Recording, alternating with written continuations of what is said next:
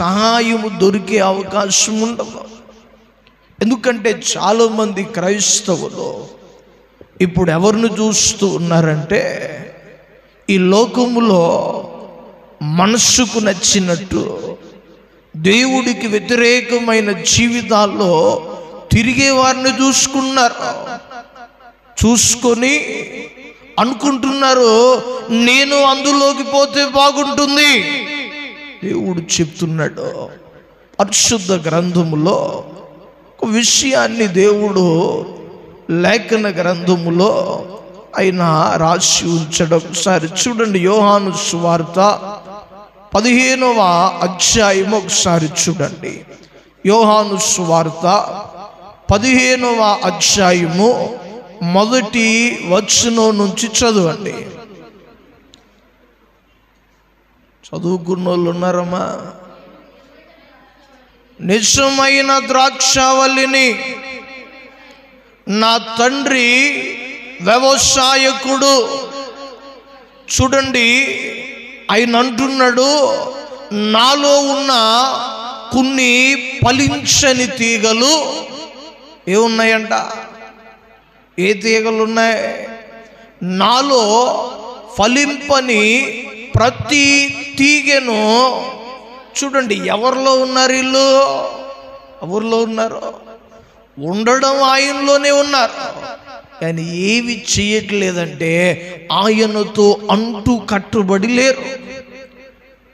చాలామంది క్రైస్తవ జీవితాలు ఈ పరిస్థితుల్లోనే ఉంటున్నాయి. పేరుకి క్రైస్తవులమే. కానీ ఏం చేయట్లా? సహవాసం ఆయనతో. చేయట్లేదు అదే చెప్తున్నాడు నాలో ఆయనే చెప్తున్నాడు వాళ్ళు నాలోనే ఉన్నారు కానీ నాకు అంటు కట్టబడలేదు నాతో అంటూ కట్టబడక వాళ్ళు ఫలించని స్థితిలో ఉన్నారు. చాలా సంవత్సరాల నుంచి అదే పరిస్థితుల్లో ఉన్నారు. ఆ ఫలించని ప్రతి తీగను ఆయన నాలో నుంచి తీసి ఎక్కడ పారేస్తాడంటే అగ్నిలో వాటిని పారవేస్తాడు. పనికిరాని వాటిని తీసి ఏం చేస్తాం మనం? పనికిరాని చెత్తుందనుకో చెత్త ఉందనుకో అంతటిని తీసి ఒక చోట వేసి ఏం చేస్తాం?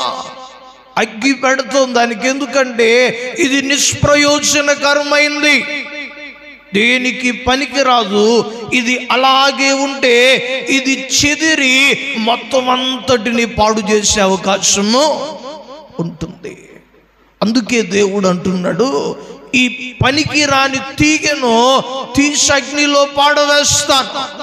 ఎందుకంటే ఈ తీగే మిగతా వాటిని పాడు చేసే అవకాశం కూడా ఉంటుంది. అదే చెప్తున్నాడా. చదువుండమ్మా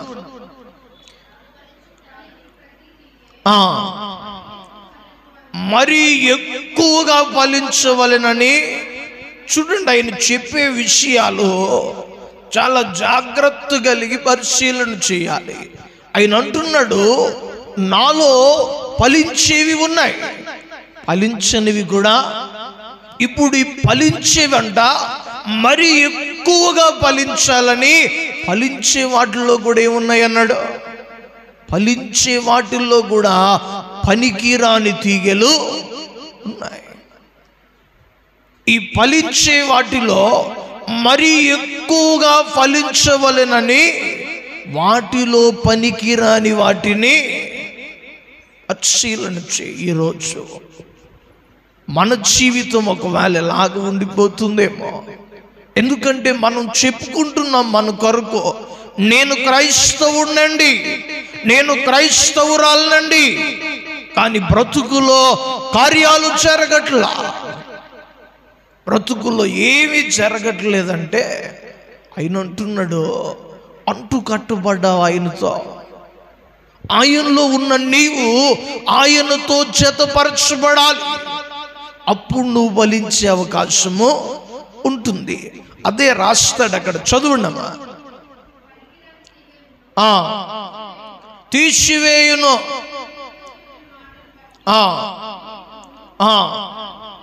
మీరు ఇప్పుడు పవిత్రులై ఉన్నారు. నా యందు నిలిచియుండుడి. నిలిచియుందును. చూడండి ఇదే చాలా జాగ్రత్తగా జ్ఞాపకం ఉంచుకోవాలి. తీగే ద్రాక్షావల్లితో ఏమవుతుందంట తీగే ద్రాక్షావల్లితో ఉంటేనే తీగ ఇప్పుడు ఏమవుద్ది? చూడండి ఒక విషయం మనకు తెలియాలి. తీగే ద్రాక్షవల్లి నుంచి బయటకు తీయబడిన వెంటనే ఎండిపోదు. తీగే పరిస్థితి ఏమవుద్దంటే ఒక చెట్టు ఉందనుకో ఒక కొమ్మని చెట్టు నుంచి వేరు చేసిన వెంటనే ఎండిపోదు. ఆ కొమ్మ ఇప్పటి వరకు చెట్టులో ఉంది కాబట్టి దాని ప్రభావం ఉన్నంతసేపు పచ్చదనం అలాగే ఉంటుంది. ఇప్పుడు ఆ కొమ్మ వేరై ఉంది కదా దాని మీద వాన కురిసినప్పుడు ఎండ కాచినప్పుడు ఇప్పుడు అది ఫలించే అవకాశము లేదు. ఎందుకొరకంటే అది చెట్టు నుంచి వేరై వచ్చింది. ఎప్పుడైతే వచ్చిందో ఇప్పుడు ఎండ కాస్తే ఏమవుద్ది? అచ్చుదనం కాస్త పోయి ఎండిపోద్ది. ఎండిపోయిన దాన్ని తీసుకెళ్ళి ఏం చేస్తారో? ఏం చేస్తారు?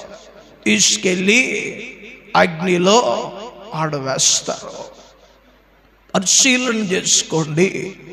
ప్రియ సహోదరి ప్రియ సహోదరుడా ఎందుకంటే మన జీవితాల్లో దుష్టుడు ఇలాంటి పనులు చేయిస్తాడు.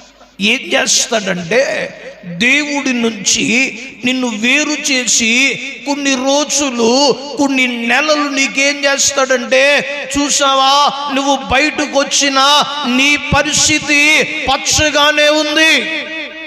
బయటకు వచ్చిన నీ స్థితి బాగుంది అని చూపిస్తాడు. దాన్ని చూసుకొని మనం అనుకుంటా అవును నా పరిస్థితి బాగుంది కదా. నా స్థితి బాగేనుంది కదా. కేవలం దేవుళ్ళో ఉంటేనే బాగుంటాననుకున్నాను. ఇప్పుడు సమస్యలు ప్రారంభమవుతాయి. ఇబ్బందులు ప్రారంభమవుతాయి. ఒకప్పుడు సమస్య వచ్చినప్పుడు అయ్యా విడిపించనగానే విడిపించిన దేవుడు ఇప్పుడు ఆయనకు వేరై నీవు బ్రతికితే బైబిల్లో ఆయన రాస్తాడు. చూడండి కీర్తనలు గ్రంథము పదహారవ కీర్తన ఒకసారి చూడండి. పదహారవ కీర్తన నాలుగో వచ్చిన చదవండి. కీర్తనలు గ్రంథము పదహారవ కీర్తన నాలుగవ వచ్చిన ఏహోవాను విరచి చూడండి ఆయనను విడచి వేరొకరిని ఆశ్రయంగా ఎంచుకుంటే వాడికి శ్రమలు ఏమొస్తాయంట? దేవుణ్ణి విడచి వేరొకరిని ఆశ్రయంగా పెట్టుకున్నావా? నీ బ్రతుకులో శ్రమలు మొదట బాగున్నట్టు కనబడుతుంది. ఆ శ్రమ వచ్చాక ఎండిపోయిన స్థితిలోనికి పోయాక బాధల్లో బయటకు రాలేక అప్పుడు ఏడుస్తావు అప్పుడు ఆయన అన్నాడు నేను చెప్పినప్పుడు నా మాటను పక్కకు తోసావు కదా ఇప్పుడు నీకు భయము కలగా నేను నవ్వుతానని దేవుడు చెప్తున్నాడు. పరిశీలన చెయ్యి ఒకసారి.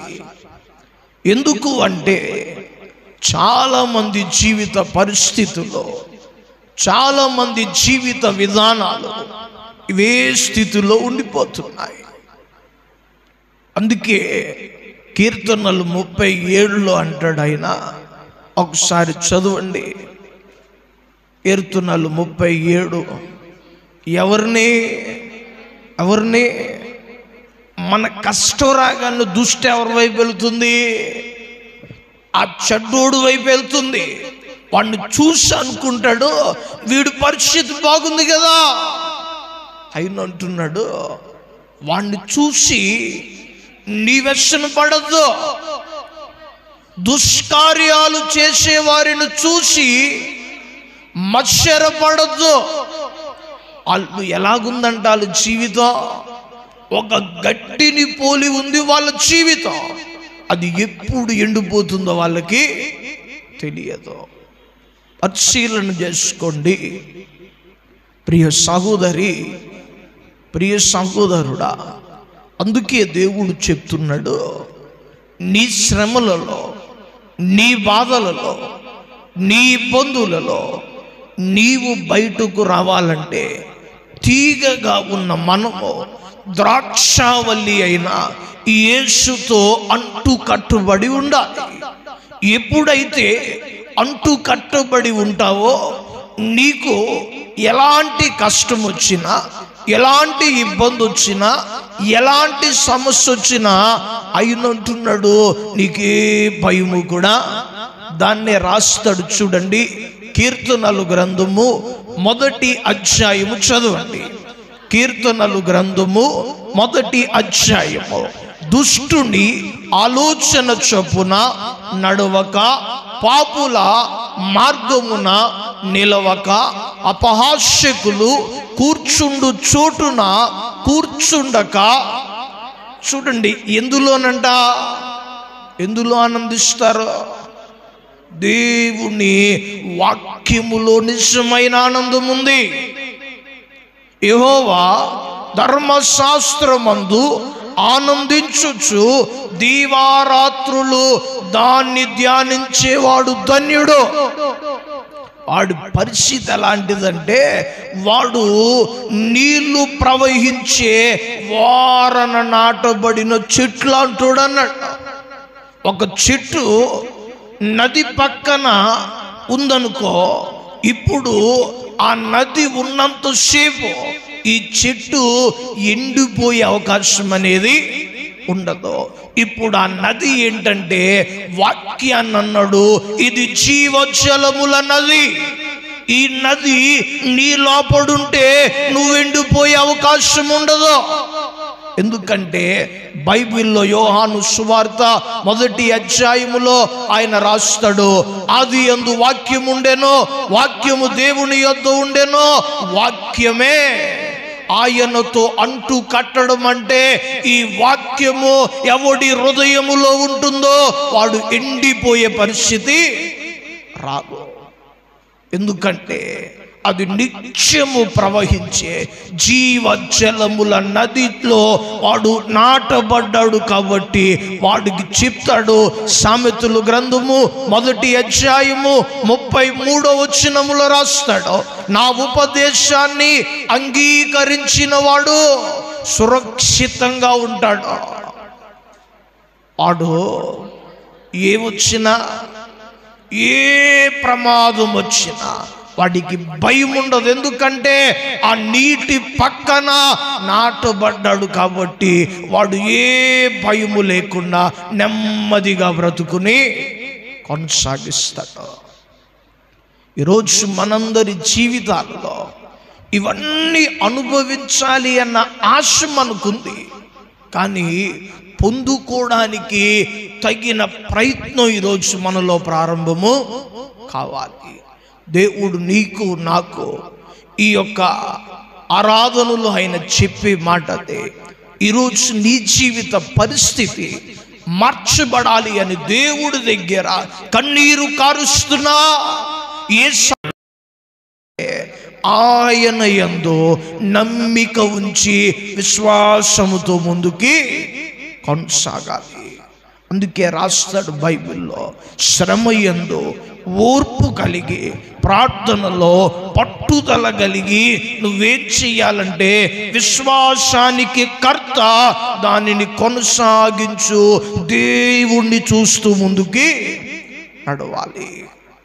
ఎందుకు అంటే పరిశుద్ధ గ్రంథములో పేతురు రెండు వరకు మనం ఏం చేయాలో రాస్తాడు. చదువుండమ్మా కాగా మీరు స్వస్థ బుద్ధి గలవారై ప్రార్థన చేయటానికి అలాగుండాలంట మనం ఏం చేయాలి? సమస్యకు ముగింపు దేవుడు నిర్ణయించాడు. అప్పటి వరకు కూడా మనం ఏం చేయాలి? ఆ పద్దెనిమిది సంవత్సరాల నుంచి బలహీనపరుచు దెయ్యం పట్టుకున్న ఆమె పద్దెనిమిది సంవత్సరాల నుంచి మందిరానికి వెళుతూనే ఉంది. ఇప్పుడు ఆమె సమస్యకు దేవుడు పరిష్కారాన్ని నిర్ణయించాడు. ఆ నిర్ణయ కాలం వచ్చింది. ఇప్పుడు చూసంటున్నాడమ్మా నీవు నీ బలహీనత నుంచి పరిశీలన చేసుకో. పద్దెనిమిది సంవత్సరాల నుంచి నడుము వంగిపోయి ఏమాత్రము నడవలేని స్థితిలో ఉన్న ఆమె పద్దెనిమిది సంవత్సరాల బాధను రెప్పపాటున తీసినప్పుడు ఆమె దుఃఖమంతా సంతోషకరంగా మార్చబడుతుంది. దేవుడు చెప్తున్నాడు ఎన్ని సంవత్సరాల నుంచి నీ బాధతో కృంగిపోతున్నావో? ఎన్ని సంవత్సరాల నుంచి నీకున్న సమస్యలను బట్టి క్షీణించిపోతున్నావో? దేవుడు చెప్తున్నాడు ఈరోజైనా నా మాటకు లోబడు నీకు విడుదలను దేవుడు అనుగ్రహించబోతున్నాడు. అదే రాశాడు ఆ పదమూడు పది లూకాస్ వార్త చదవండి. ఆ, సమాజ మందిరంలో బలహీనపరచు దెయ్యము పట్టిన ఒక స్త్రీ అచ్చట ఉండెను. ఆమె నడుము వంగిపోయి ఎంత మాత్రము ఎంత మాత్రము ఈ దెయ్యం ఆమెను ఏ మాత్రం కూడా నిలబడినవట్లా. ఆ చదవండి. ఏం చేశాడు ఇప్పుడు ఆయన? ఇప్పుడు మనల్ని ఏం చేశాడు ఆయన? చూసి ఇప్పుడు తర్వాత ఏం చేశాడు అనేది రాస్తున్నాడు. చదవండి. ఏం చేశాడు రెండోది? ఇప్పుడు మనల్ని చూశాడో.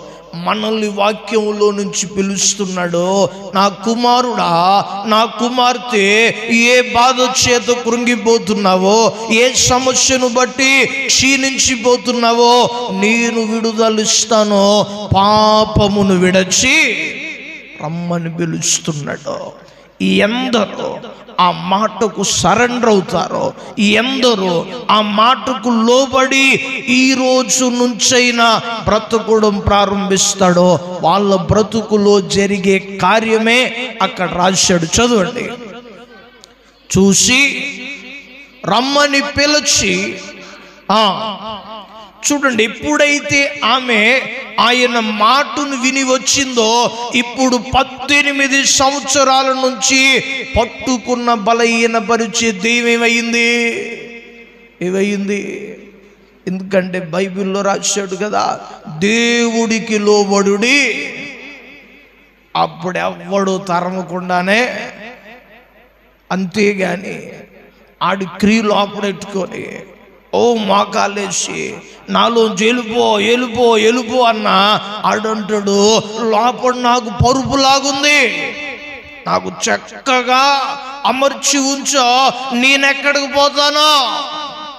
ఆడు పోవాలి అంటే ఇప్పుడు అందులోని జరగాలంటే ఒకే ఒక్క దారి ఏంటి అంటే దేవుడికి లోబడి బ్రతకడం ప్రారంభించాలి. ఎందుకంటే ఈరోజు ఈ బలహీనపరిచే దెయ్యాలు అనేక మంది ప్రజలను భక్తిలో నిలబడనివ్వకుండా వేస్తున్నాయి ఎన్నో సంవత్సరాల నుంచి వాక్యాలు వింటున్నావు. ఎన్నో సంవత్సరాల నుంచి దేవుణ్ణి నమ్ముకొని ఉన్నావు. కానీ జీవితము వాక్యానికి లోబడకపోతే వాక్యం విన్నప్పుడు అనుకుంటున్నావు ఈ రోజు నుంచి నిలబడిపోవాలి. ఇంటికి వెళ్ళిపోతూ ఉన్నాడు. దేవుడి చిన్న మాటలు మన వినికిల్లో ఫలింపచేయును గాక. వాటిని గ్రహించడానికి మన హృదయాలను తెరుచును గాక. ఆమె ప్రార్థన చేసుకుందాం చివరిగా. ప్రతి ఒక్కరు కూడా ప్రార్థనలో ఏకీవించండి. పరిశుద్ధాత్మదేవుడు ఇప్పుడు వరకు తన ఆత్మ ద్వారా నీతో నాతో కొన్ని ప్రాముఖ్యమైన విషయాలను ఆయన మాట్లాడారు. ప్రియ సహోదరి ప్రియ సహోదరుడా దేవుణ్ణి నమ్ముకొని సంవత్సరాలు తరబడి దేవుణ్ణి సన్నిధానములో ఉంటూ నా బాధకు విడుదల లేదు నా సమస్యకు విడుదల లేదు. నా రోగానికి పరిష్కారం లేదు అని చింతిస్తూ ఉన్నావా? ఏ బాధను చూసుకొని కృంగిపోతూ ఉన్నావో? ఏ సమస్యను బట్టి కృషించిపోతూ ఉన్నావో? దేవుడు నీ ప్రతి బాధను నీ ప్రతి దుఃఖాన్ని ఆయన చూశాడు. చూసిన ఆయన నిన్ను విడిపించాలని ప్రేమతో పిలుస్తూ ఉన్నాడు. ఏ మాటను ఇంతకాలము తిరస్కరించి ఏ మాటను విని అంగీకరించకుండా బ్రతికావో ఏ మాటను ఇంతకాలము నుంచి దేవుడు నీతో మాట్లాడుతూ అనాలోచనగా బ్రతికావో. దేవుడు చెప్తున్నాడు ఆ మాటకు లోబడి బ్రతకడం. ఈ రోజు నుంచైనా ప్రారంభించు. పద్దెనిమిది ఏళ్ళ నుండి విడుదల కొరకు ఎదురు చూస్తున్న ఆమె బ్రతుకులో దేవుడి మాటకు లోబడింది. పద్దెనిమిది సంవత్సరాల బాధ. ఒక్క మాటతో దేవుడు తీసివేశాడు. ఈరోజు నీకు చెప్తున్నాడు ఆయన ఏ సమస్య చేత కృంగిపోతూ ఏ బాధను బట్టి దేవుడి ఎదుట కన్నీరు కారుస్తున్నావు నీ బాధను చూశాడు. నీ సమస్యను చూశాడు. నిన్ను విడిపించడం కొరకే ఇప్పటి వరకు ఆయన మాట్లాడాడు. తీగలమై ఉన్న మనం ఆయనలో అంటు కట్టబడాలి. ఆయనతో జత చేయబడాలి. అప్పుడు మన యొక్క ప్రతి సమస్యకు విడుదల దొరుకుతుంది. ప్రతి బాధ నుంచి విడిపించబడతా. నెమ్మదికరమైన జీవితాన్ని దేవుడు నీకు అనుగ్రహించాలి అని చూస్తున్నాడు. మాట వింటే సురక్షితంగా ఉంటా. ఎలాంటి పరిస్థితి వచ్చినా భయము లేకుండా నెమ్మదికరంగా బ్రతుకుతావు మాట వినకుండా లోకాన్ని ఆశ్రయిస్తూ లోకములో ఉన్న వాటిని ఆశ్రయిస్తే ఆయన అంటున్నాడు శ్రమలు విస్తరిస్తాయి ఒక రోజు అని చెప్తున్నాడు. ప్రస్తుతం బాగుందనుకుంటున్నావేమో? ప్రస్తుతం నా స్థితి బాగానే ఉందనుకుంటున్నావేమో? కలగ చేసుకున్నంతసేపు పరిస్థితి బాగున్నట్టు కనిపిస్తుంది. ఆదాము అవ్వలు తిననుకున్నారు బాగానే ఉన్నాం కదా? దేవుడు చెడిగాడు. ఒప్పుకోలేదు పాపాన్ని. ఇప్పుడు కలుగు చేసుకున్నాడు. ఏ బాధ లేకుండా బ్రతికే జీవితంలో ఇప్పుడు బాధలు విస్తరించే వాళ్ళకి. మన పరిస్థితి ఎలాగ కాకూడదు అని మన జీవితము అలాగ కాకూడదు అని దేవుడు వాక్కు ద్వారా మనతో మాట్లాడారు. కాబట్టి విన్న వాక్యాన్ని హృదయాన్ని పరిశీలన చేసుకొని జీవితము ఈ రోజైనా దేవుడి చితానుసారంగా మార్చి వేసుకో గొప్ప దీవెనలు చేత దేవుడు నేను నింపాలని చూస్తున్నాడు. ఈ కూడికలు దాని కొరకే మనల్ని ఫలించనివ్వకుండా చేసే ఆ ప్రతి పనికిరాని తీగను తీసివేయడం కొరకే దేవుడు మనకు అవకాశాన్ని ఇచ్చాడు. ఆసక్తి కలిగి మారు మనస్సు పొందు. దేవుడు కార్యాలను చూడగలుగుతా. పరిశుద్ధాత్మ దేవుడా ఇప్పుడు వరకు మీ ఆత్మ ద్వారా బిడలతో మాతో కొన్ని ప్రాముఖ్యమైన విషయాలను మీరు మాట్లాడారు నాయన. విన్న వాక్యము ప్రతి హృదయములో నూరుదంతులుగా దంతులుగా చేయమని ప్రార్థిస్తున్నా. నేను మేము అందరము కూడా ఎల్లప్పుడూ మెలకువ కలిగి ఈ మాటకు లోబడి జీవించే శక్తిని మాకు దయచేయండి. మెడలు ఏ బాధలు చేత నీకు మరుపెడుతున్నారో? ఏ సమస్యలను బట్టి నీ ఎదుట కన్నీరు కారుస్తూ ఉన్నారో? ఈ కూడికల ద్వారా అందరికీ విడుదలను అనుగ్రహించమని ప్రార్థిస్తున్నా. వీళ్ళందరినీ బలపరచండి. సమృద్ధిగా ఆత్మశక్తితో నింపమని ప్రార్థిస్తున్నాం. ఎవరు బలహీనంగా నీరసంగా అనారోగ్యాలతో ఉన్న మంచి ఆరోగ్యాలను దయచేయండి. పరలోక జ్ఞానముతో మమ్మల్ని అందరినీ మరింత నింపి నడిపించమని ఈ రెండవ దినం మొదటి ఆరాధనలో ఈ విధంగా బలపరిచి వాడుకున్నందుకు మీకు అందునాలు తెలియజేస్తూ మిగిలిన ఆరాధనలో కూడా శక్తినిచ్చి నడిపించమని నజరయుడైన సున్నామమును అడిగి వేడుకొనుచున్నాం. మా ప్రియ పరలోకపు తండ్రి. ఆమెన్. పరలోకమందున్న మా తండ్రి ఈ నామం పరిశుద్ధపరచబడును గాక రాజ్యం వచ్చును గాక విచిత్రం పరలోకమందు నెరవేరునట్టు భూమి అందు నెరవేరుగాక. మనది నేడు మాకు దయచేయండి. మడల అపరాధం చేసిన వారిని మేము క్షమించున్న ప్రకారం అపరాధాలు క్షమించండి. సోదంలో తెక్కడి నుంచి తప్పించండి. రాజ్యము శక్తి మహిమ నిరంతరము నీవై ఉన్నవి తండ్రి. ఇప్పుడు మన తండ్రి అయిన దేవుని ప్రేమ ప్రవణేశు క్రీస్తు వారి కృప పరిశుద్ధాత్మన్యున్న సహవాసం సదాకాలం మనకు మన కుటుంబాలకు సకల పరిశుద్ధులకు వారి కుటుంబాలకు తోడయుండి ఆయన సన్నిధి కాంతి ప్రకాశింపజేస్తూ వర్ధిల్లింపజేస్తూ ప్రతి కీడు నుంచి వ్యాధుల నుంచి బాధ నుంచి పాపం నుంచి తప్పిస్తూ ఆయన చిత్తమే మన పట్ల జరిగిస్తూ ఆయన చిత్తానుసారంగా మనందరినీ నడిపిస్తూ మరింత బలపరుస్తూ విశ్వాసములో స్థిరపరుస్తూ ప్రార్థనాత్మతో నింపి ఆయన పరలోకానికి సిద్ధపరచునుగాక. అమేన్ మీ అందరికీ వందనాలు. మరలా తిరిగి రాత్రి ఏడు గంటలకి ఆరాధన ప్రారంభించబడుతుంది.